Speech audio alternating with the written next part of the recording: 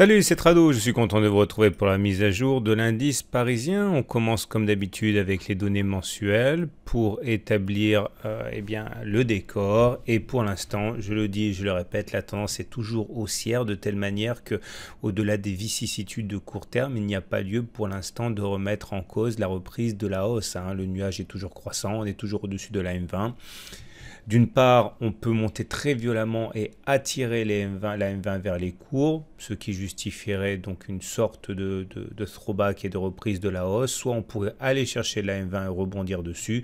Mais en tout cas, dans ces deux cas, hein, il n'y a pas pour l'instant, je le répète, lieu de s'inquiéter. On en reparlera par exemple si les 5070 ici support devaient lâcher, mais pour l'instant, ce n'est pas le cas.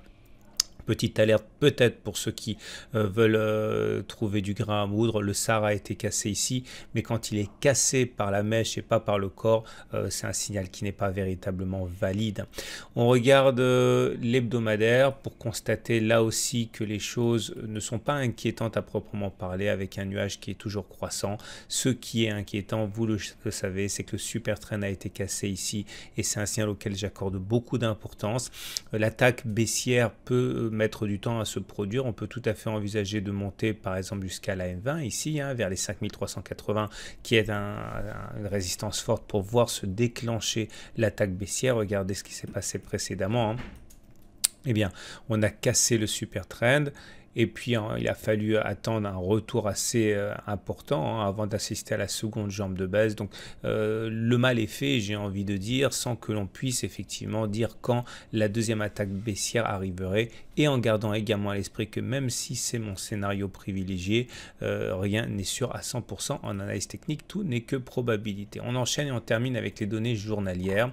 Il faut comprendre qu'aujourd'hui les, les nouvelles en France, en Europe, aux États-Unis ont été plutôt bonnes dans un premier temps Hein, avec euh, avec des résultats d'entreprise encourageants et avec des statistiques d'activité également très fermes euh, dans l'Union européenne et aux États-Unis. Mais euh, la fin de séance a été assez calamiteuse pour le Dow Jones qui a non seulement abandonné tous ses gains, mais a fermé, a clôturé en territoire quand même assez négatif. Hein. et donc ça, c'est euh, peut-être pas très rassurant pour demain, mais pour l'instant, regardez où nous en sommes. Comme vous le savez, on avait en ligne de mire d'aller chercher les 50% de Fibonacci la moyenne mobile à 20 périodes, la kit jaune, etc. C'est un cluster de résistance. Pour l'instant, on s'en sort bien. On a même cherché, on a même touché la moyenne mobile à 20 séances. La prochaine résistance importante, elle a quelques points. Hein. ici, à, à 4 points et 5308. Bon, euh, inutile d'ergoter par rapport à ça. Il faut bien comprendre qu'une attaque baissière peut apparaître à n'importe quel moment à partir de maintenant. Petit euh, rappel si vous débutez. L'analyse technique permet d'établir clairement les niveaux de résistance et de support, mais elle n'est pas capable et personne n'est capable de dire quel niveau de résistance ou quel niveau de support va se matérialiser comme étant une résistance ou un support euh, déterminant. Tout ce qu'on peut dire, c'est qu'il y a plus de chances pour que la fin du voyage s'arrête sur tel ou tel niveau. Pour savoir si hein, une résistance potentielle se euh, transforme en résistance réelle, il faut regarder notamment les chandeliers. Et là, pour l'instant, quand on voit le chandelier qui vient de se dessiner aujourd'hui, ce n'est pas un chandelier d'alerte, loin de là. C'est un signal plutôt de force, hein, puisqu'on termine sur les plus hauts de la séance, dans le tiers haussier. Donc, euh, euh, on jugera euh, de, la possibilité de, fin de, rebond technique lorsque l'on aura un chandelier de retournement. Pour l'instant, ce n'est pas le cas. On peut même tout à fait envisager d'aller chercher le gap, hein, tenter un comblement du gap, ce serait pas du tout incroyable, hein, surtout que c'est un gap qui apparaît aussi en données hebdomadaires, qui correspond à la M20 hebdomadaire, on l'a vu, donc c'est un mouvement qui est tout à fait envisageable.